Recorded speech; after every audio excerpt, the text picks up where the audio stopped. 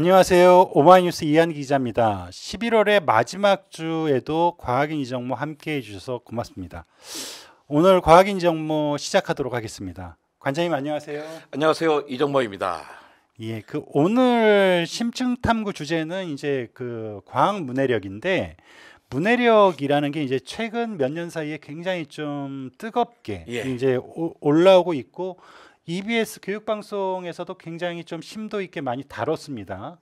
그 문해력이란 말은 이제 좀 많이 들어보긴 했을 텐데 일단 사전적인 의미는 글을 읽고 이해하는 능력 아닌가요? 그렇죠. 그러니까 문- 문해력 그러니까 어떤 고등학생이 야 문해력이 뭐야? 그랬더니 아 문제 해결 능력이요 그러더라고요. 아, 그것도- 야, 그것도 그것 그것도 매력적인 예, 매력적인 얘기를 하지만 딴, 딴 데서 그런 얘기 하지 마라. 근데 문해력은 전 세계에서 똑같은 뜻을 쓰고 있어. 리터러시란 건데 예. 그 문장 해독 능력이라는 거죠. 예. 20세기는 이 문장 해독 능력이 있으면요 행복하게 살 수 있었어요. 음. 그 제가 약을 했었는데 약 예. 약이 뭔지 아시잖아요. 그러니까 예, 예. 그래서 그 제가 이제 대학생 때였어요. 그제 또래의 노동자들을 위한 학교였던 거죠. 야간 그렇죠. 학교. 근데 이제 그러고서 이제 거의 6년 정도 하고 유학 갔다 왔더니 그 종로가에 엄청나게 큰 약이었습니다. 연동 청소년 학교로 최고의 약이었어요. 예. 그런데 갔다 왔더니 약이 잘안 되는 거예요. 예. 왜안 되냐면 이젠 그 사이에 중고등학교를 다니지 못하는 젊은이들이 없는 거예요. 예. 그 사이 문 환경이 다 높아져 가지고 예. 그 야구문을 닫아야 되나 했을 때 저희가 은사님이 같이 거기 교사셨는데 그분이 그러시던 거예요. 야 이제 초등학교 가정을 하자. 예. 그러니까 제가 그랬죠. 아유 중고등학교 안 나와서 도 없는데 뭐 초등학교 가정을 합니까? 예. 아니야 초등학교 못 나와서 노인들 많이 있잖아. 음. 그러니까 그 6년 과정을 합니까? 그러니까 그러지 말고 딱열 달만 그 산수하고 국어만 하자 그러시는 거예요. 음. 그래서 제가 그랬어요. 아니 우리나라는 문맹률 제로를 합디다. 음. 글씨를 못 읽는 사람이 없는데 무슨 글을 하- 그글 가르치는 걸 합니까? 했더니 그러시는 거예요. 아니다 거짓말이다. 음. 우리나라가 결코 유럽보다 문맹률이 낮지 않다. 어. 꽤 많이 있어서 문해력을 그뭐 문맹률을 퇴치하기 위한 예산도 많이 잡혀 있지만 잘 못 쓴다. 왜? 예. 누가 어디에 있는지를 모르니까이라는 거예요. 예. 그래가지고 이제 어때 하기로 했어요. 이렇게 나 마음에 안 들었지만 선생님이 하자니까 하잖아요. 그래가지고 일주일에 이틀씩 열 개월 열달 과정을 하는데 모집을 어떻게 할까 답, 답답한 거예요. 그걸 어디서 어디서 찾을 거예요. 예. 근데 그때 그 방송국의 그 힘을 받, 받습니다. 아침마당 같은 프로 있잖아요. KBS라서 아침에 이거 두 줄만 보내주세요. 막 그런 거 있잖아요. 자막으로 그 자막 한 두 번 갈게요. 수백 명이 오는 거예요. 야, 그, 그 당시만 해도 요즘은 뭐 아무 저도 안 보는데 예. 그 당시만 해도 이제 공중파의 열이 힘이 엄- 컸죠. 엄청나게 컸던 거죠. 예. 그러니까 우리도 이렇게 다 자막 보내고 학- 모집하고 이런 것들 해야 되는 거죠. 그런데 그때 그 사람 오신 분들이 보니까 대단한 게요. 이, 예. 이틀 딱 두 주 지나니까 이분이 평생 거짓말을 두고 살던 분들이에요. 아이 할머니 책 좀 읽어주세요. 그러면 아유 거짓말이죠. 애미 할미가 책 읽어줘야 되는데 오늘 눈이 어두서 못 읽어줘요. 이런 분이에요. 예. 학을 못 읽었으면서. 예. 그런데 이분들이 인생의 지혜란 게 있더라고요. 음. 딱 5일씩 2주, 두 주만 딱 배우니까요. 한글 완벽하게 읽으세요. 어 그래요? 예. 그러니까 음. 그- 거저 거저 나이 본거 아니에요. 인생 지혜가 있는 거예요. 근데 그런데 쓰는 거는 뭐 문제가 좀 있어요. 쓰는 건뭐 우리들도 많이 틀리잖아요. 그렇죠. 그래서 근데 뭐 맞춤도 많이 틀리고. 근데 음. 그때 내가 안타까운 게 뭐냐? 그분들이 쓴 시들. 예. 아 정말 진짜 진국인 시, 인생에 우러난 시인데 음. 내가 그때까지만 철이 없었어요. 그냥 다 버려버린 거죠. 지금 모아서 정말로 멋진 시집이 됐을 텐데. 음. 또 이분들 재밌는 게 산수가 잘 안 되세요. 음. 2,500 더하기 4,500 딱 7,000 나와야 되잖아요. 예. 근데 이렇게 똑똑한 친구들이 산수가 한참 걸리는 거예요. 음. 근데 나중에 그 답을 찾았어요. 원자만 붙이면 되더라고요. 2,500 더하기 4,500은 안 되는데 2,500원 더하기 4,500원은 그거 확 집중열 돼서 쫙 되는 거예요. 원자만 붙이면 된다 하는 거예요. 그래서. 근데 이런 그 그분들이 이제 졸업할 때쯤 되니까 네. 뭐 많이 오시잖아요. 이렇게 네. 근데 가족들과 많이 왔어요. 근데 막 한복 입고 막 펑펑 우시는 거예요. 제가 그랬죠. 아유 그 졸업하니까 이렇게 행복해요. 그러니까 그러시는 거예요. 야, 이 선생, 내가 지금 뭐 행복해서 우는 줄 알아? 푸른텅이 터져서 우는 거야. 음. 아니 딱 일주일에 5일 저녁 그다음에 딱 열 달만 나한테 시간을 줬어도 일찌감치 읽고 쓰는 걸 깨우치고 새만 걸 다 했을 텐데 음. 이 영감택이랑 자식 새끼들 손주 새끼들 키우느라고 내가 이제서 이걸 깨달 깨쳤어 내가 얼마나 분통이 터져 음. 이런 거죠. 음. 근데 그럼에도 불구하고 되게 행복하셨어요. 왜 읽고 쓸 수 있으니까 문해력을 갖추니까 음. 문화인으로 살 수 있게 되는 거예요. 예. 근데 그게 20세기였습니다. 음. 20세기는 읽고 쓸 수 있으면 문화인이 될 수 있었던 거예요. 음. 근데 지금은 21세기에 살고 있잖아요. 음. 그러니까 여기 하나 더 필요한 게 있는데 그게 바로 뭐냐면 과학 문해력입니다. 과학 문해력이 필요하다 그러니까 사람들은 많은 과학 지식이 필요하다 생각하시는 거예요. 음. 그게 아니에요. 아, 관장님 문해력이랑 과학 문해력은 또 어떤 차이가 있나요? 과학을 이해할 수 있는 거죠. 아, 그러니까 우리가 글을 읽었으면서 우리가 책을 문화 문화로 즐길 수 있는 것처럼 예. 과학을 문화로 즐길 수 있는 게 과학 음. 문해력인 거예요. 음, 그러니까 과학 문해력을 산다면 엄청난 과학 지식을 쌓는데 그게 아니에요. 그건 불가능합니다. 음, 학교에 다닐 때 공부 좀 했던 분들도요. 애가 중학교만 돼도 예. 애들 중간고사 뭐 시험 볼 때 시험 공부 도와주지 못해요. 왜 못 도와줍니까? 어려워요. 그러니까 다 잊어버렸다 생각하는데 잊어버린 게 아니에요. 배운 게 달라진 거예요. 그렇죠. 그러니까 꼬마이들에게 물어봐요. 너 DNA가 어떻게 생겼냐고 쳐다봐요. 관장력을 질문이라고 하세요. 그런 거죠. 아 이중 나선 구조 몰라요. 그러는데 저거 83년에 대학 가 처음 알았어요. 저는 블랙홀이란 말을 구- 대학원 때 9시 뉴스에 스티븐 호킹 하는 뉴스가 나올 때 블랙홀 처음 들어봤는데 요 유치원생들도 아는 거잖아요. 음, 우리가 잊어버려서가 아니라 과학의 지식이 넓고 깊어져서 우리가 모르는 겁니다. 음, 그러니까 과학을 지식으로 쫓아갈 수는 없어요. 예. 과학을 따져 보는 거죠. 과학을 과학을 문화로 즐길 수 있는 과학 문해를 음. 갖는 건데 과, 죄송합니다. 과학 문해를 갖게 되면 여러 가지 방해 요소들이 있습니다. 그 중에 하나가 뭐냐면 그냥 오래된 전설들이 있어요. 아, 이 전설 때문에 뭘 못한 게 있어요. 딱, 딱 슬라이드 보여주면 여러분 뭔지 알 거예요. 딱 뭘 이야기할 것 같아요. 선풍기 틀어놓고 문 닫아놓고 자면 죽는다. 나 선풍 켜놓고 문 닫고 죽는다는 거예요. 예. 우리나라 정말 이게 많거든요. 되게 독일 유학할 때 친구들이 맨날 놀렸어. 거기 믿거나 말거나 그런 프로 나왔거든요. 예. 믿거나 말거나 열쪽 개면 한국 게 한 두 개쯤 나왔어요. 예. 저기 은평구에 있는 예일여고 학생들은 새벽부터 학교 가지고 밤늦게까지 공부한다. 예. 이게 그 사람들 믿거나 말거나 그럽니다. 이거 괜찮았어요. 어쩌다 한국 후진국에서 이렇게 빨리 선진국 된 건 공부 열심히 했기 때문이다. 근데 사실인데 잘 안 믿는군요. 예. 그 어떻게 그렇게 공부를 많이 하는 거 죠. 근데 아홉 번째 꼭지가 꼭 이거예요. 한국 사람들은 선풍기 켜놓고 자면 죽는다고 합니다. 믿거나 말거나 그런 거죠. 그러니까 동료들이랑 맥주집 가면 딱 개- 예의 바른 친구들 꼭 맥주 한 잔 들어가면 꼭 물어봐요. 선- 정말 너도 선풍기 켜놓고 자면 죽는 생각하냐는 거죠. 근데 실제로 우리나라는 선풍기 켜놓고 자다 죽은 분들이 많아요. 뉴스에도 나옵니다. 음. 아홉 시 KBS 9시 뉴스에 이런 건 맨날 나왔어요. 음. 그러니까 선풍기 켜놓고 자다가 호흡고나 사망사고 다 막 이런 거잖아요. 예. 정말 그런 거예요. 아니 어저께 밤중에 온 가족이 모여서 수박 먹으면서 아시안 게임 봤어요. 재밌게 깔깔 호. 근데 아침에 일어나니까 아버지가 안 일어나신 거예요. 왜 아버지가 저 우리 아버지 멀쩡한 분이 왜 안 일어나셨어? 그런데 보니까 선풍기가 켜 있으니까 아 선풍기 켜놓고 돌아가셨구나 하는 거죠. 음. 근데 우리나라는요 매일 밤에 선 매일 밤에 그냥 주무시다가 돌아가신 분이 열 분이 넘습니다. 음. 열 분, 스무 정도예요.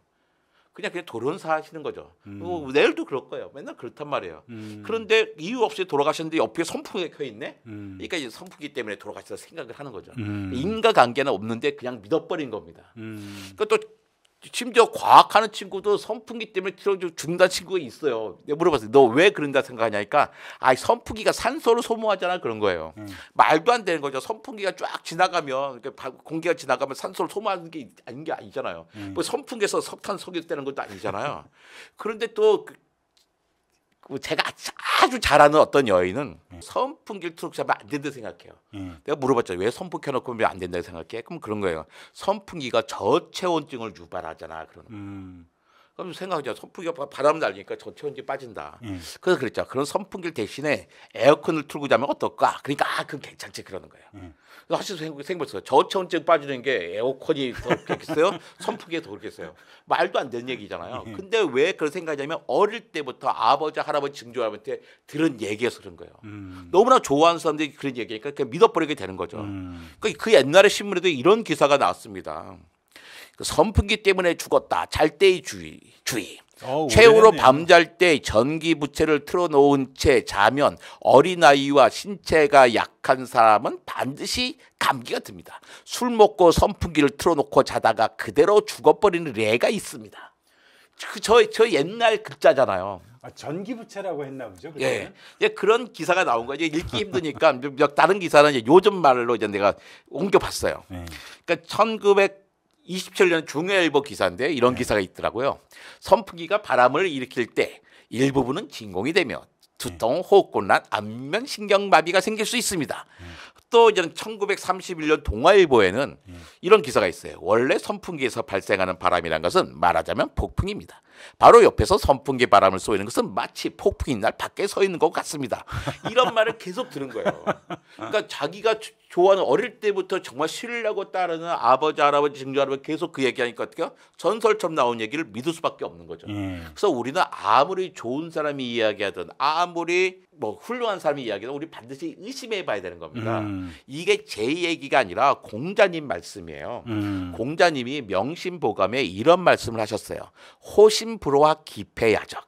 음. 그러니까 호심불호학은 다, 다 아는 거잖아요. 기패야적은 잘 못 써요. 저도 못 써요. 그러니까 음. 포기하고 앞에 호심불호학만 보자고요. 예. 조화로 믿을 시엔 아니볼 조화로 배우라기잖아요. 음. 믿기를 좋아하고 배우기를 좋아하지 아니하면 공부가 아니라 세상에 대한 패단이란 거예요. 거꾸로 음. 보면 배우기를 좋아하지 아니하고 무턱대고 믿기만을 좋아하면 세상을 공부가 아니라 세상의 패단이란 거예요. 음. 배운다는 게 뭐냐면 그 당시에 배운다는 건 의심하고 질문하는 겁니다. 음. 의심하고 질문하기를 좋아하지 않고 무턱대고 믿기만을 좋아하면 안 된다는 거예요. 음. 공자님도 그잖아요. 대학 보면 어, 그 뭐야 논어 보면요 자활하고 나오잖아요. 예. 자활하고 나올 때는 보면 그 전에 뭐가 있었던 거죠. 예. 뭐 생략된 게 뭐가 생겼냐면 자로 왈이라든지 제자들이 물어봅니다. 예. 제자들이 물어보면 공자님, 맹자님이 대신 대, 음. 그 다음에 대답을 해주는 거예요. 예. 공자님, 맹자님 소- 아리스토텔레스 공통점인데 뭐냐면 강의를 안 해 이 사람들. 소크라테스 마찬가지로 가만히 있습니다. 근데 제자들이 물어보면 대답을 해주는 거예요. 음. 뭐 가르쳐 주지 않고 우리 가르치는데 음. 제자를 하라 그러는데 음. 그러니까 의심하고 질문하는 게 원래 공부였어요. 음. 근데 그 어떻게 의심하고 질문할 거냐? 과학 분야를 세울 때 음. 기준이 있습니다. 그게 사이즈와 넘버예요. 크기와 숫자를 말하는 거죠. 음. 그러니까 크기와 숫자가 뭘 때를 따져볼 때의 가장 기준이 될 수가 있는 거예요. 음. 잘 볼게요. 이제 이, 비- 이 슬라이드 보면 그림에서 예. 그 아래쪽에 보면 20대, 30대, 40대 숫자 바로 입으면 기, 살구색의 기다란 뭐 막대 같은 게 보이잖아요. 예. 저게 콜라겐이라는 단백질입니다. 예. 콜라겐은 우리 몸에 제일 많은 단백질 중에 하나예요. 근데 다양한 기능들이 하고 있죠. 주로 구조적인 기능을 하는데 음. 피부에서는 피부를 받쳐주는 역할을 하고 있는 거예요. 그러니까 피부가 팽팽하다 뭐 이럴 때 받쳐주는 그죠 받쳐주는? 역할인 거죠. 예. 그러니까 20대, 30대, 40대가 될수록 콜라겐의 양이 줄어들어요. 예. 콜라겐이 받쳐주지 못하니까 어떻게 해요? 피부가 무너지는 거죠. 쪼글쪼글해지는 그걸 뭐 거죠. 이제 그 뭐라 그러죠? 이렇게 주름이 주름. 되는 거예요. 주름이 생기는 제가 거죠. 이제 한두 주 있으면 두 주 있으면 저거 이제 환갑인데 음. 얼마 전에 어머니가 불렀어요. 어머니가 나한테 짜증을 내시더라고요. 아 정모야 지금 너 몇 살인데 음. 너가 아직도 엄마 네 어미 속을 썩이냐? 네 네가 속을 썩이니까 어, 네 엄마 이렇게 주름살이 늘잖아 막 그러시더라고요. 제가 그랬어요. 내가 엄마 이 나이가 돼도 엄마 속을 썩인 건 정말로 죄송합니다. 하지만 엄마의 주름살까지 제 책임은 아닙니다. 엄마의 주름살 엄마가 늙어서 생긴 거예요. 콜라겐이 없어서 생기는 겁니다. 이야기가 되는 거예요. 그러니까 사람들 생각하죠. 자 코- 나이가 들수록 콜라겐이 줄어드니까 아 줄어드니까 유- 주름살이 생겨? 그럼 없애려면 어떻게 할까? 콜라겐을 공급하면 되겠니 하고 생각한 거죠. 음. 그래서 그냥 콜라겐을 바르기 시작한 겁니다. 예. 근데 뭐 따져봐야 되는 크기를 따져보는 게 뭐냐면 그 오른쪽 그립에서 보면 여기 그 바, 바이러스라는 게 있잖아요. 예. 바이러스 그다음에 박테리아, 사람 세포 이런 게 있습니다. 예. 박테리아하고 바이러스랑요 길이가 차이가 10배쯤 나요. 예. 그 다음에 또 사람 세포 또 10배쯤 차이 나는 거잖아요. 그 예. 100배쯤 차이 나는 사람들. 길이가 10배니까 부피는 1000배쯤 차이 나는 거죠. 예. 그러니까 이 새끼 손톱이 새끼 손톱이 바이러스라고 하면요. 그러니까 한 줌쯤 되는 게 박테리아예요. 예. 사람 세포는 이 몸이 이따만합니다. 예. 근데 왼쪽 그림에서 별처럼 보이는 게 사람 세포예요. 예. 근데 그 기다라는 게 아까 콜라겐이라고 했잖아요. 예. 그러니까 사람 세포가 이따만하면 콜라겐은 이따만한 거예요. 음. 잘 봐요. 우리 코, 코로나 때 손 열심히 닦았죠. 예. 손만 열심히 닦고 팔꿈치, 뭐 무릎 뺨 안 닦았어요. 왜 손만 열심히 닦았을까요? 손으로 많이 뭐 물건들을 많이 그 손이 많이. 만지죠. 예. 많이 예. 만졌으니까 콜라겐 바이러스 많이 묻어 있었을 거예요. 예. 하지만 바이러스가 손바닥을 뚫고 지나가지는 않았습니다. 음. 그죠? 만약에 바이러스 손바닥 뚫고 지나간다면 뺨에 있는 거 들어오고 팔꿈치 들어올 거잖아요. 예. 피부를 뚫고 못 들어와요 바이러스는. 음. 근데 우리가 왜 손을 닦아요? 손으로 뭐 다른 데를 맞습니다. 접촉하니까. 손으로 얼굴을 화장을 하지 않은 사람이 시간 한 10번 정도 얼굴을 만진대요. 예. 그러니까 피부를 뚫고 못 들어오는데 눈, 코, 입의 점막을 통해 들어오는 거예요. 예. 팔꿈치는 아무래도 얼굴을 만질 수가 없잖아요. 무릎도 마찬가지고. 그렇죠. 손만 닦으면 되는 거예요. 예. 근데 이 얘기 뭐냐면 바이러스는 손바닥을 못 들고 들어와요. 그렇으면 바이러스는 피부를 못 들고 들어온다는 거예요. 음. 근데 요따 요따만한 바이러스가 피부를 못 들고 들어오는데 이 따만한 콜라겐이 피부를 뚫고 들어올 수는 없는 거잖아요. 그렇죠. 그렇죠. 그 콜라겐이 피부를 통과할까요? 콜라겐은 어마어마한 거대한 단백질이기 때문에 피부를 못 뚫고 들어요. 만약에 콜라겐이 피부를 뚫고 들어온다면 박테리아랑 바이러스가 어떻게 되겠어? 노상 자유롭게 들어올 거잖아요. 그렇죠. 그렇다면 콜라겐 화장품을 피부에 바르는 게 효과가 있을까요, 없을까요? 없죠. 없습니다. 제로예요. 음. 그러니까 크기로 따져보면 이게 효과가 없단 말이에요. 음. 하지만 집에 있는 콜라겐 화장품 다 바르셔도 돼요. 왜? 피부에 나쁘지 않습니다. 음. 나쁘지 않으니까 바르는 소용이 없는 거예요. 음. 근데 이런 얘기를 몇 번 했더니 그 뭐야 너네 그 뭐 한 번만 더 얘기하면 뭐 고소할 거야 이런 뭐 내용 증명도 오고 막 그랬어요. 하지만 고소는 안 하시더라고요. 정말 잘 아시거든요. 음. 그러니까 사람들이 아 바르는 콜라겐이 별로 효과가 없다. 왜 크기당 되지 않는 거야? 많이 알게 되니까 전략을 바꾸죠. 먹는 콜라겐을 만든 거예요. 음. 자 이제 먹는 콜라겐인데 우리 이제 알잖아요. 콜라겐이 거대한 단백질을 먹으면 콜라겐이 세포로 가는 게 아니죠. 예. 중학교 때 배웠어요. 그 콜라겐 단백질이니까 다 쪼개집니다. 예. 그 부- 분해가 되는 거예요. 소화가 돼서 아미노산 형태로 들어오는 거예요. 예. 그 세포가 생각을 하나요? 아 우리 주인님께서 요즘 피부에 때문에 걱정이 많으시잖아. 그러니까 이 아미노산 꼭 다시 콜라겐을 만들어 드리자고 그럴 리는 없잖아요. 예.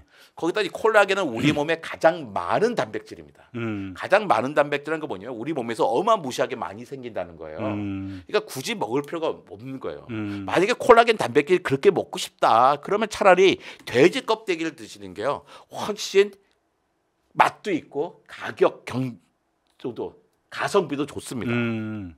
자, 이게 크기를 한번 따져보는 예였어요. 음. 자, 그냥 숫자로 따져보는 예를 따져보죠. 여러분, 2017년에 살충제 달걀 파동 기억하십니까?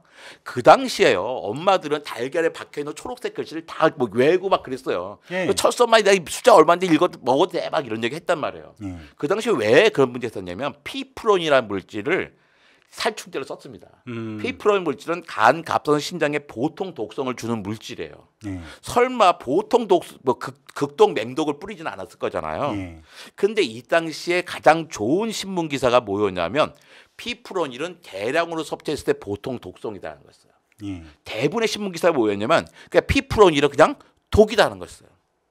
다른 거잖아요. 피프로는 대량으로 섭취할 때 보통 독성이다와 피프로는 건 다른 거잖아요. 전혀 다르죠. 그렇죠. 바로 그 전에인 2016년 11월 12월 두 달 동안 그 마음 카페에 소문이 쫙 난 거예요. 음. 그 백신에 비소가 들어있대요. 누가 썼어요. 예. 그러니까 누가 물어보죠 댓글로 아 비소가 뭐예요? 음. 그것도 잘난 척하는 분이 있어. 아 비소 몰라요. 고등학교 때 배웠잖아요. 비, 음. 원석이요 AS. 그러니까 또 짜증 나죠. 아니 그게 뭐냐니까요. 음. 그또 친절하게 대답해 주는 사람이 있습니다. 아 비소가 뭐냐면요 사극 보잖아요. 사극에 보면 장희빈이 그렇게 그 못되게 못되게 구다가 결국에 스- 왕이 내리 사약 먹고 죽잖아요. 음. 사약의 주성분이 바로 비소예요. 쓴 거예요. 음. 그러니까 난리가 났죠. 뭐 백신에 비소가 들어있어. 근데 비소가 사약의 주성분이야? 야 사약의 주성분이 들어있는 백신을 어떻게 아이들을 놔주니? 차라리 우리 애가 그냥 볼거리를 앓고 홍역 안 낫지. 나안 놔줘 그런 거예요. 음. 따져봐야죠. 설마 멀쩡한 백신에다 새로 비소를 넣었을까요? 그럴 리가 없잖아요. 그렇죠. 원래 있었죠. 얼마 있었냐면 밥 한 숟가락 안에 들어있는 만큼 있어요. 음. 그 너무 적은 양에서 검출을 못했습니다. 제가 음. 60년 동안 밥을 먹었지만 비소에 중독되지 않았어요. 음. 그러니까 뭐가 있냐가 중요한 게 아니라 숫자로 따져와서 뭐가 얼마큼 있냐가 중요한 거- 중요한 건데 음. 그 당시 살충제 달걀 파동에는 피, 그 피프로닐이 많이 있었죠. 그러니까 피프로닐이 유럽 기준치가 달걀 킬로그램당 0.02mg인데 음. 우리나라 달걀은 그 당시에 0.0363 이렇게 나온 거예요. 예. 그러니까 80%가 더 나온 거예요. 음. 근데 우리가 달걀을 킬로그램으로 먹지는 않죠. 예. 달걀은 작은 달걀 50g, 큰 달걀은 60g쯤 됩니다. 음. 그러니까 달걀 그 60g짜리 큰 달걀을 보자면 달걀당 하나에 0.002mg쯤 있는 거예요. 음. 그럼 제가 몇 개쯤 먹어도 될까? 예. 세계 보건기구는 두 가지 기준을 만들었는데 하나가 ADI 또 다른 하나가 ARFD예요. 예. ADI는 뭐냐면 평생 일일 섭취 허용량. 죽을 때까지 이만큼 먹어도 돼야 하는 거예요. 음. 그게 더 얼마냐면 체중 킬로그램당 0.0002mg이에요. 음. 이제 60kg에서 0.01mg이죠. 음. 몇개 먹어도 돼요. 세그 계산은 간단하죠. 0.01을 0.002로 나면 되는 거예요. 예. 5.5개입니다. 음. 그러니까 성인들은 저 살충제 달걀을 매일 죽을 때까지 5.5개 먹어도 아무 문제가 없다는 거예요. 음. 그 극성 독성 참고량은 얼마냐? 60kg에서 0.54mg이에요. 음. 몇개 먹어도 되지? 영, 계산하면 되잖아요. 0.54를 0.002로 나눈 거예요. 나눠봤더니 246개예요. 하루에. 246개를 먹으면 간, 갑선, 신장에 보통 독성이 생긴다는 거예요. 음. 거짓말이죠. 하루에 246개 먹으면 어떻게 됩니까? 해부학적인 문제가 생겨서 죽을 거예요. 음. 저는 저 달걀이 괜찮다고 말하는 게 아닙니다.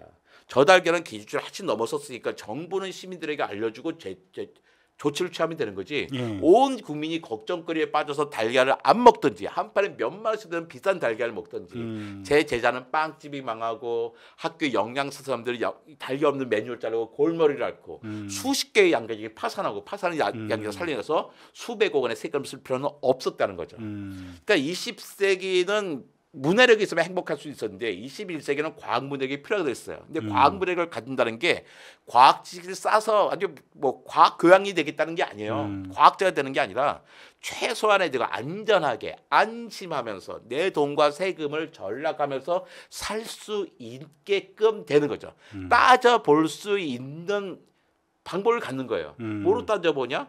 바로 숫자와 크기로 따져 볼 수 있는 능력을 가지면 되는 겁니다. 그 관장님 말씀하시니까 예전에 그, 그 광학인 이정모에서도 비슷한 걸 한번 다뤘었죠. 막걸리에 뭐 발암 물질이 그죠. 있는데 이거가 그 그런 그 나쁜 영향을 주려면 하루에 뭐 몇십 병, 뭐 몇백 병을 이제 흡입 그 마셨을 때 네. 생길 수 있는 양이다. 그렇죠. 그러면서 또 거기 아스팜탐 때문에 막 그러고 있는데 예, 예. 아스팜탐이 나쁘겠어요? 알코올이 나쁘겠어요?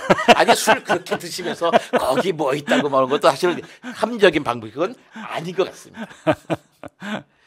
그런 거랑 이제 유사한 거죠. 그렇죠. 그러니까 지금 아까 서두에 말씀하셨던 과학문해력 하면서 어쨌든 많은 것들이 있지만 오늘 간단히 두 가지 말씀해 주셨는데 이제 사이즈, 넘버, 예. 콜라겐과 관련된 거는 이제 사이즈와 관련된 이제 얘들, 넘버는 지금 얘기했던 그 어느 정도의 어. 용량에 관한 건데 그걸 다 빼고 이게 독성이 있다. 독성이 있는 건 맞을 수 있는데 그쵸. 그 독성이 발현되려면 어느 정도 양이냐. 그거는 뭐 우리가 뭐 거의 한 사람도 그렇게 먹는 사람이 없을 정도 양인 거 아닙니까? 그렇게 먹을 수가 없는 그렇다면 건데. 의미가 없는 거잖아요. 그렇죠. 그러니까 우리 좀 더 안전하고 안심하게 살자는 겁니다. 그러면 그렇죠. 세상이 명랑해질 거예요. 아, 그렇습니다. 예, 그 끝났나요? 예. 아유, 고맙습니다. 그 이제 이걸 예를 들어서 좀 더 이제 길게 얘기를 들으면 굉장히 재밌는 사례들이 많을 텐데 오늘은 그 미니 강의니까 그 사이즈와 넘버에 대해서 가장 인상적인 예, 그 예를 들어서 좀 설명을 해주셨고요. 여러분도 이런 걸 기준으로 과학 문해력, 과학 문해력이라는 건 이제 사실관계를 정확하게 따져보는 거고 좀 더 궁금증을 갖고 물어보고 그것들에 대한 답변들을 얻어 나가서 스스로 이해하는 거. 그냥 사람들이 이렇게 카더라라고 얘기하거나 그냥 심증적으로 아니면 내려오던 얘기를 검증 없이 받아들이고 맹신하는 거 그건 좋지 않다. 그건 과학 문해력에 그 저해된다. 이런 말씀을 좀 해주셨습니다. 그 사례를 구체적으로 말씀해 주시니까 머릿속에 쏙쏙 들어왔네요. 그럼 오늘 추천 과학책 코너로 넘어갈 텐데요. 추천 과학책은 오늘은 어, 올해 샤 롯데 출판 문화상. 전 처음에 롯데 출판 문화상으로 알았는데 샤 롯데군요. 샤 롯데 출 작년까지 롯데 출판물상인데요. 그렇죠. 이번에 샤 롯데로 바꿨습니다. 샤 롯데는 이제 영화관도 샤 롯데 영화관 롯데에서 하는 게 있는데 그래서 저는 롯데 출판 문화상인 줄 알았어요. 어쨌든 샤 롯데 출판 문화상을 수상한 책들이 있는데 이 가운데 과학책 두 권을 중심적으로 소개를 해드릴 거예요. 그 두 권의 과학책은 휘어진 시대 국립출판사에서 나온 책하고 거대 도시 서울철도 워크룸 프레스에서 나온 책인데요. 그 전에 간단히 올해 샤롯데 출판문화상에서는 어떤 책들이 수상을 했는지 인상적인 책이 무엇인지를 먼저 좀 관장님한테 듣도록 하겠습니다. 예, 그, 그 괴테의 문학적인 재능을 누군가 알아줘야 되잖아요. 예. 그러니까 거기 뭐가 있냐면 그 괴테의 책을 그 젊은 베르테의 슬픔 예. 있죠.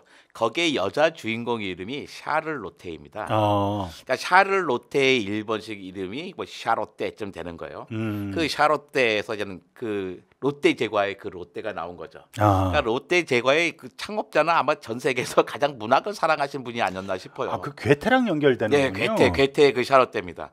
그 롯데 그룹이 몇 년 전부터 올해가 그냥 5년째인데요. 출판 문화상을 시상하고 있는데 시- 상금 규모가 우리나라 제일 커요. 음. 총 상금 규모가 2억 5천만 원입니다. 어. 대상이 5천만 원이고요. 예. 이 5천만 원을 딱 한 명한 주는 게 아니라 저자에게 2,500만 원, 출판사에게 2,500만 원을 줘요. 예. 또 나머지 일곱 편의 본상에든 저자와 출판사에게 다 천만 원씩 주고 어. 또 다양한 분야의 또 공로상이 있는데 거기도 예. 500만 원 줍니다. 올해 대상을 받은 상품은 이따가 제가 상품이 아니라 그러니까 책은 이따가 제가 따로 설명을 드릴 텐데 그 한양대 교수님이십니다. 그 남영 선생님의 휴어진 시대라는 책이고요. 세 권짜리 책 이에요. 예. 제가 무거워서 오늘 한 것만 들고 왔고요. 근데 본상 책, 본상은 이제 상급이 2천만 원인데 저자와 출판 각각 1천만 원이에요. 예. 제가 또 이따 설명드릴 거대시 서울 철도라는 책이 있었고 예. 그 다음에 고명섭 아, 한겨레 신문 기자시죠. 예. 그러니까 쓰신 하이데거 극장이 있고요. 예. 근데 정찬일 선생님이 쓴 삼순위 시대가 만들고 역사가 잊은 이름 왜 음. 공순이 뭐 등등등의 예. 이름이 있었잖아요. 그 얘기입니다. 그다음에 김추필 선생님이 쓴 한국 거미 도감이 있는데 음. 한 김주필 선생님이 우리나라의 거미의 연구에 거두세요. 예. 네, 그래서 막 되게 많이 하셔요. 그러니까 근데 모든 연구를 이번에 시작했다는 거예요. 근데 이, 이 책이 심사를 하고서 딱 선정을 한 다음에 그 다음에 이제 통보를 하잖아요. 아 선생님, 선생님이 여기 수상자가 되- 됐습니다. 근데 그 사이에 돌아가셨습니다. 경기도에 혹시 그, 주필박물관이라고 주필 거미 박물관 주필 거미박물관에 그 주필이 김주필 선생님 맞습니다. 성함이죠? 예, 저 가봤어요. 예, 남양준가 그쪽에 맞아요, 있는 것. 같은데요. 예, 거기에 있습니다. 어, 그 그분이시군요. 예, 그거 돌아가셨어요. 저 아, 안타까워. 안타깝네. 그 예. 상 받는 거 소식을 듣, 듣고 가셨으면 좋았을, 좋았을 텐데, 그죠? 그 제자들이 되게 안타까워하더라고요. 예. 그다음에 우리 잘 아시는 숙명여대의 김원교 선생님이 오늘 김수영 전문가시잖아요. 예. 네, 김수영 씨로 쓴 자서전이 아마 문학 관련 책으로 얘기를 다 음. 받은 거고요. 제가 정말 좋아하는 책입니다. 길벗 어린이의 옛날에 만화책을 이제 그림책으로 만- 만든 건데 옥춘당이라고 하는 어. 책이 있어요. 꽤 꽤 두꺼운 그러니까 그림책인 거예요. 예. 그 만화를 그림으로 바꾼 겁니다. 음. 그 다음에 번역서로는 13권짜리 책인데요. 그 마르셀 프루스트의 잃어버린 시간을 찾아라는 책이 있어요. 음. 13권짜리. 제목은 들어봤습니다. 저도 그냥 집에는 있어요. 하지만 끝까지 읽어내지 못한 거였어요. 근데 프랑 근데 그것을 아주 잘 번역을 해서 음. 그 번역에 대한 그 공로를 많이 인정한 것 같아요. 그래서 음. 이 책에 또그 선정이 됐죠. 번역가들한테 이런 기회를 많이 주는 거는 저는 찬성이에요. 예. 편집자도 마찬가지고. 이제 옛날 보니까 옛날 김명주 선생님이 또 내가 아주 좋아하는 과학 번역가인데 뭐그 다음에 받으신 적이 있더라고요. 예. 그다음에 공로상은 뭐 출판 외길상, 해외 번역상, 언론 부분상이 있는데 출판 외에서는 고흥식이란 부분 분인데 예. 한국 출판회의회 사무국장이었습니다. 음. 그 출판 조직을 잘 평생 음. 꾸려진 분이고 있고요. 예. 그다음에 외대 통역 대 번역 대학원의 최미경 선생님이 이제 불어 번역을 주로 많이 하신 분입니다. 음. 근데 고두현 기자 한국경제신문의 고두현 기자는 저하고도 인연이 있어요. 제가 옛날 달력과 관련된 책을 썼을 때 예. 처음 그 언론사에 막 방송에 라디오 방송에 소개하셨던 분 같아요. 음. 그 다음에 시인이기도 합니다. 음. 근데 이 중에서 이제 과학책은 현대 물리학의 역사를 다룬 남영석 교수의 휘어진 시대, 음. 또 우리나라 거미 연구의 대가인 김지필 선생님의 거미 한국 거미도감, 음. 그리고 철덕, 그러니까 철도 덕후로 유명한 전현우 선생의 거대 도시 서울철도가 아니라 과학과 기술에 대한 책이에요. 음. 아까 말씀드렸던 안타깝게도 한국 거미도감을 지신 김줄표 선생님은 이제 심사가 진행된 도중에 작고하셨습니다. 이제 심사위원도 알고 되게 안- 안타까워했죠. 예, 어쨌든 그 김주필 선생님 뭐그 삼가 고인의 명복을 빌겠습니다. 그리고 그 수상 축하드리고요. 사후이긴 하지만 그 그 어쨌든 평가를 그 받으신 거에 대해서는 충분히 의미가 있다라고 생각을 합니다. 첫 번째 소개할 책은 국립출판사에서 펴낸 휘어진 시대. 아까 관장님 말씀하셨듯이 세 권짜리인데요. 소설처럼 흥미진진하고 생생하게 현대 과학과 과학자들이 살아가던 현장을 포착했다. 이렇게 소개되어 있더라고요. 이 책은 1871년부터 시작됩니다. 예. 그러니까 첫 장면은 첫 장면에 등장하는 사람은 퀴리 부인과 뭐 아인슈타인이에요. 예.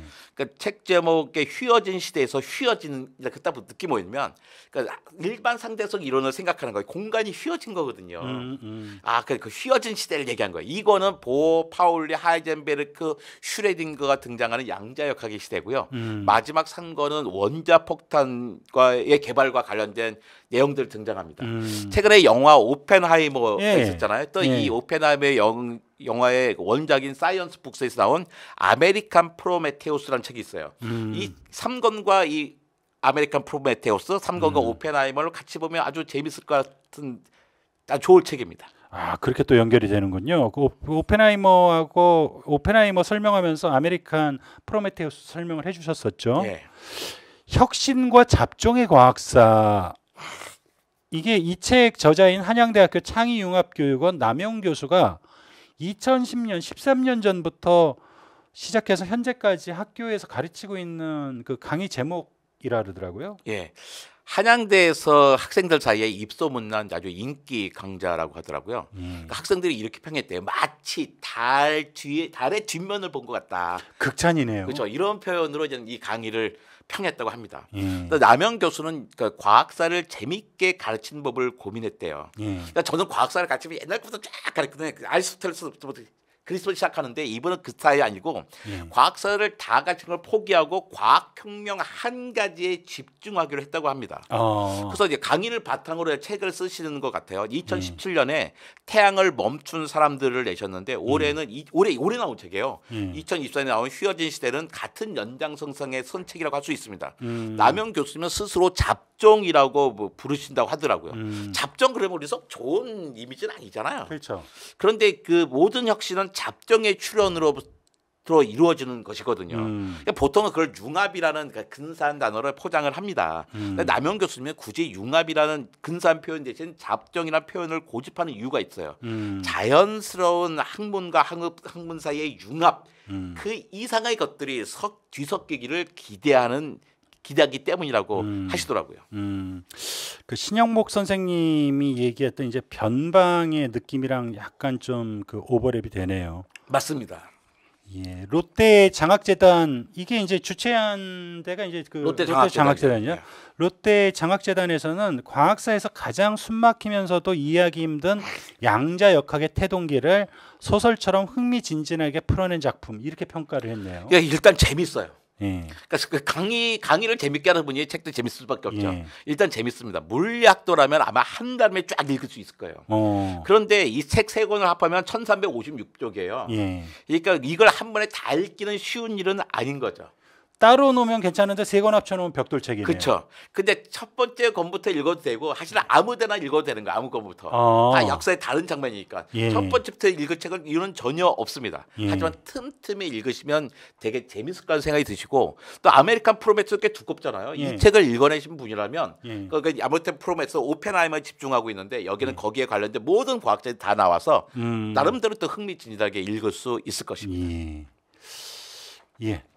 예. 흥미로운 책입니다. 여러분 관심을 가져주시고요. 두 번째 책은 이제 지금 관장님이 요 앞에 이렇게 세워두셨는데 거대 도시 서울 철도 워크룸 프레스에서 2020년도에 나왔고요. 저자는 전현우. 그 기후위기 시대의 미래 환승법이라는 이제 부제가 달렸어요. 관장님이 추천사도 쓰셨던데 어떤 책인가요? 덕후의 책이에요. 그러니까, 그러니까 그 그러니까 철도에 관한 모든 것을 다 모았다고 생각하면 됩니다. 예. 그러니까 저는 사실 읽기 되게 힘들었어요. 제가 1년에 한 3, 40권 가까운 추천사를 쓰거든요. 예. 그러니까 추천 쓰기 위해서 내가 투자하는 시간은 사실 일주일이에요. 예. 이제 틈틈이 읽어서 딱 한 권 추천사를 보내면 되는데 예. 이 책은 볼 때는 한 달 이상을 읽어야 했던 것 같아요. 이 책이 그 생각보다 별로 두껍지 않잖아요. 예. 근데 이 책이 보면 뭐 딱 볼게요. 500 한 50쪽쯤 되는데 예. 이게 거의 사기예요. 이게 보면요. 그러니까 2단으로 되어 있습니다. 어, 글자가 너무 예, 2단으로 되고 빽빽하게 있는 거예요. 이걸 아마 보통 요 문학책들 하면요. 1000페이지 훨씬 넘는 책입니다. 어, 거기다. 너무나 많은 정보들이 들어 있어요. 예. 그러니까 보통 상식적인 사람들은 자기 아는 걸 다 넣으려고 하지 않죠. 예. 그래서 그 많을 덜어내고 사람들이 재밌게 읽어 나가게 하려고 그러는데 예. 이분은 모든 걸 다 넣으려고 그랬어요. 난그 음. 이유가 되는 게 이 책이 하나밖에 없어요. 어. 그러니까 대체 불가한 책입니다. 다 깨달았겠죠. 우리나라에 철도에 가는 책이 또 뭐가 나올 기회가 있겠어? 이 책밖에 기회가 없으니까 넣은 걸 다 넣어야겠어 생각을 한 거예요. 야. 그래가지고 우리나라의 철도의 역사, 철도의 구조, 철도의 정책이 어떤 게 돼 있고 철도의 예산이 얼마나 들고 모든 거를 다 넣고 있습니다. 음. 제가 이 책을 보고서 이렇게 썼어요. 음, 기억이 나요. 철도는 날개를 단 바퀴다. 음. 산업혁명 이래 철도를 타고 퍼져나간 인류의 산물은 음. 셀수 없을 정도다. 괴테가 예상한 것처럼 철도는 지구를 돌아 서둘러서 온 민족을 연결시켰다. 음. 대한민국은 그리 넓지 않은 만큼 이런 연결이 아주 촘촘할 것 같지만 음. 실은 그렇지 않다. 전현우는 속도와 거리라는 작은 실마리에서 시작해 기후 위기와 거대 도시의 미래까지 마치 셜록 홈즈처럼 철도를 둘러싼 실타래를 풀어나간다. 음. 이 정도면 제가 그냥 극찬드라 책입니다. 아, 그러네요. 뭐 셜록 홈즈까지 등장을 할 정도로 추천사를 써주셨으니까 아, 근데 어쨌든 그만큼 밀도가 단단하다라는 거죠. 그렇죠. 그래서 이 책의 제 특징이 뭐냐면 이 책은 딱 4번 3의 두 부류일 것 같아요. 예, 철도와 관련된 정책을 하는 교- 철도와 교통 정책을 하는 사람들 예, 약간 티껍게 봤을 거예요. 예, 아시고 철도 전문가도 아닌데 이 사람은 원래 철학가거든요. 예. 뭐 이렇게 뭐 나보다 더 많이 받아 하면서 약간 두려운 마음에 음. 경계심을 봤을 거고 또는 한 부류가 이제 철도 덕후들이 있거든요. 예. 어, 이분도 어떠냐면 전국의 모든 역에 다 가보는 사람이에요. 모든 역에 다 가보고 모든 역에 그 노선을 다 타보는 사람들이죠. 밀리터리 덕후처럼. 밀리터리 덕후처럼. 예. 어, 외국에 정말 많은데 우리나라는 사실 좀 그래요. 노선이 많지가 않아서. 음, 예, 근데 그 그런 책인데 이 책이 팔려요. 얼마나 팔렸겠어요. 이 책이 딱 보니까 2만 7천 원. 한 권 팔아야 2,700원이에요. 예. 그 저는 이사 전 인세가 세전. 세전 2,700원. 그천 권을 팔아야 이제 270원쯤 되는 거잖아요. 예. 내가 보기엔 아마 이게 뭐 3천 권쯤 팔렸다 치면 예. 3천 권 팔니까 기껏해 천만 원일 텐데 예. 전현우 선생님은 이 책을 받은 상금이 2,500만 원. 2,500만 원도 작년에 그 한국 출판 문화상을 또 받았어요. 한국 일보에 거기서 500만 원 받았어요. 어. 상금으로 3천만 원. 어. 내가 보기에 인세보다 훨씬 더 많은 상금을 받았어요. 나 이게 옳다고 생각합니다. 그렇죠. 이런 책에 격려하라고 출판상이 있는 거죠. 아, 그럼요. 그거는 저- 그 그렇게 평가를 해줘야 되고요. 네. 또 하나 이제 뭐 사이드긴 하지만 미국 같은 데서는 웬만큼 괜찮은 책들은 도서관에서 구입을 많이 하기 때문에 네. 기본적인 수준만 되면 뭐 일세 정도는 나가서 출판이 좀 유- 출판사 유지하는 데 도움이 된다고 하더라고요. 우리도 좀 그런 것들이 거의 좀 팔지 않았을까 싶기는 한데요. 예. 예. 그 여기 보니까 또 흥미로운 게 전 세계 50개 거대 도시의 철도를 분석해 순위를 매긴 철도 개발 지수. 이거는 이게 저자가 만든 지수 같은데 서울은 총점 41.2점, 전체 순위 22, 부산은 32 이렇게 차지했다고 하네요. 그러니까 22, 32 정도면 나쁜 게 아니다 할 수도 있잖아요. 예, 중간 네, 중간 정도죠. 예. 근데 한국 사람들은 22, 32 이런 데 만족 못 하잖아요. 기본적으로 7등 안에 들어야 됩니다. 아, 이거 뭐야? 저 철도 이거밖에 안 돼. 그런 거죠. 그 샘플이 50개니까. 예. 예. 그런데 이제는 우리나라가 사실 낮긴 해요. 음. 그러니까 철도망이 의외로 잘 안 돼 있어요. 특히 동서 동서 연결. 아, 그렇죠. 동서 연결이 거의 안 돼 있어요. 예. 그러니까 그 독일, 프랑스, 그러니까 유럽 대륙, 그 음. 영국도 동서는 잘 안 돼 있는 타입이에요. 음. 하지만 워낙에 남북이 촘촘해서 그렇지 음. 동서가 안 돼 있는 건 아니에요. 예. 근데 우리는 동서 간의 연결이 거의 없는 거잖아요. 좀 음. 서울, 강릉 정도에 있는 거고요. 예. 예를 들어서 뭐 저기 진주에서 순천이 있지만 음. 대전에서 뭐 대구 대전 대구는 있군요. 광주에서 뭐 포항강등 이런 거 없는 거잖아요. 음. 그러니까 기후 위기 시기에 가장 좋은 방법은 철도로 여행하는 건데 예. 우리는 철도 개발 주소 너무 낮다. 철도 개발수를 높여야 된다는 것을 하는 거죠. 철도 개발 주소라는 게 없는데 여러 가지 요소를 가지고 철도 개발 주소를 만들었더니 우리가 약하다. 더 세게 해야 된다는 걸 주장하는 겁니다. 음. 그이 책의 하이라이트가 이제 거대 도시 서울을 둘러싸고 인- 저자가 제안하는 총 946km에 달하는 철도망 계획이라고 하는데 그거는 주로 뭐 어떤 걸 담고 있는 건가요? 그러니까 이, 우리 이 책의 214쪽, 215쪽에 나오는 이야기인데요. 예.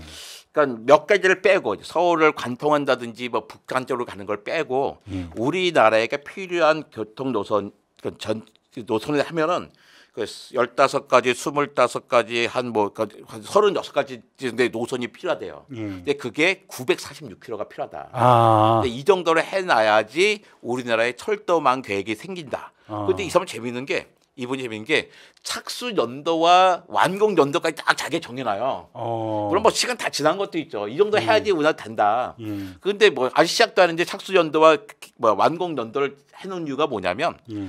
우선 순위가 있다는 거예요. 음. 어, 우리가 돈이 있어서 뭐 한꺼번에 다 할 수 있는 것도 아니잖아요. 뭐 음. 철도 열차 한꺼번에 만들 수 있는 것도 아니고 그렇죠. 우선 순위에 따라서 이걸 투자를 해야 되는데 그때는 무슨 일이 생기다 어디 인구가 얼마큼 늘어나고 어떤 사람이 생기니까 이 정도의 때는 이 요때까지 이게 만들어져야 돼. 음. 그 나누기가 뭐냐면 또그 예산이 어마어마하게 많이 들잖아요. 예. 그 예산 분배 차원에서 시작점과 끝점을 준 거예요. 예. 이거 누구한테 얘기한 거냐면 그 정책 담당자들한테 보라고 한 거죠. 음. 아, 당신들이 철도 생각 안 한 것 같은데 음. 우리 이렇게 생각하고 있어. 그러니까 국토부 관계자들 이거 보시고 차근차근 고민해 보세요. 국토부, 기재부 음. 열심히 해보세요. 이렇게 이야기한 거죠. 아주 친절한 책입니다.